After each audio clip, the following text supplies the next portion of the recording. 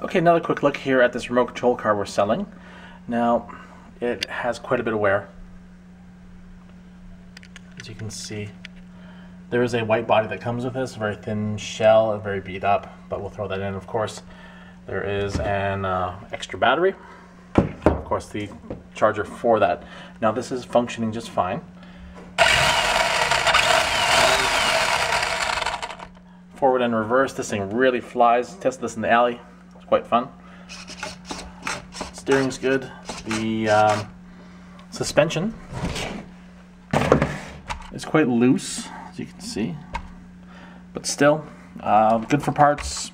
Really fun to work as it is. It shows some wear. It's a bit dirty, but um, it can be pretty good. And let's take a quick look at this uh, remote control, which again is working fine. Uh, I believe it's multiple channels. Currently on channel 4 there you go. It is a whoops a bit dusty, but again, good to go.